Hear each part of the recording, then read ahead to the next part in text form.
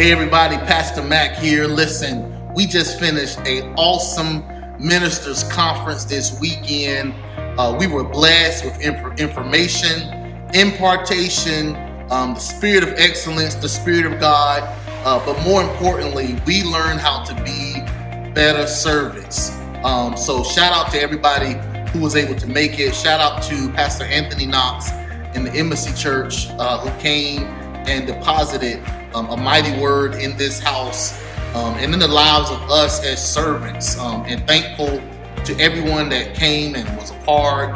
Um, and we're looking forward to great exploits from you um, in the kingdom. So, again, thank you for attending. Um, thank you for worshiping with us, fellowshipping with us, and continue to build the kingdom of God. God bless you. Peace.